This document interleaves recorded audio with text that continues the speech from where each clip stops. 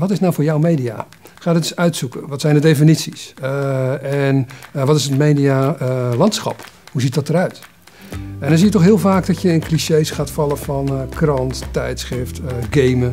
Maar dat zijn eigenlijk containerbegrippen en daarbinnen vallen heel veel media.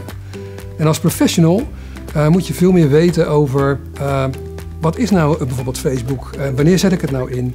En we hebben het niet over social media, maar we hebben het over clusters binnen die clusters. Creatieve minor media professional zorgt ervoor dat je een beter beeld krijgt van wat media met je kan doen. Hoe je het in kan zetten voor een opdrachtgever. En onderbouwen waarom je dat doet. dat doe je aan de hand van theorie. En dat doe je aan de hand van heel veel skills die je kan leren.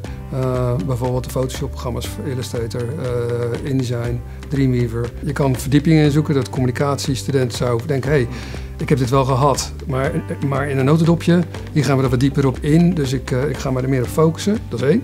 Of je zegt van, hey, hoe zou ik, hoe zou ik deze minor kunnen toepassen in bijvoorbeeld educatie? Hoe zou ik studenten of leerlingen op een basisschool kunnen helpen met media...